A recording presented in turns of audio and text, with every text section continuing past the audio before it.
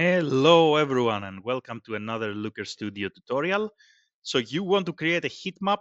All you have to do is first of all, you need to have a table. You already know that. So we have a table here in Looker Studio. We are going to select the table. Then we're going to go on the right hand side and click here where it says chart, the little drop down arrow here. And then we're going to open this screen. Once we open the screen, we're going to select the third option, table with heat map. And that's it to begin with. Now, let's say that you want to change the colors of your heat map. So I don't want to have the blue or the green or the purple. How can I do that? I'm going to go again on the right hand side. I'm going to click on style.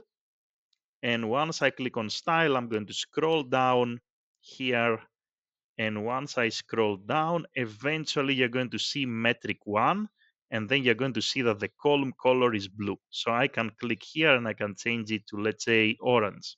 And you can see that the color changed on my table. Then metric number two, I can click here and I can make it, let's say, purple. And then metric number three, I can click here and I can change it, let's say, to green. So one more time, and let's do it from the very beginning.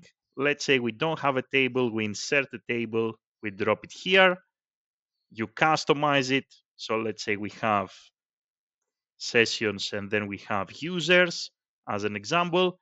All you have to do, your table is selected, you go on the right hand side, click on chart, click here on table with heat map. Immediately you have a heat map. And the next thing you need to do, click on style from the right hand side and then make sure that you scroll down under the style column. You are going to find eventually this metric number one. You're going to see the color blue which is your heat map and you're going to change it to whatever color you like. And that's how easy it is to create a heat map table in looker studio. Let me know if you were able to make it.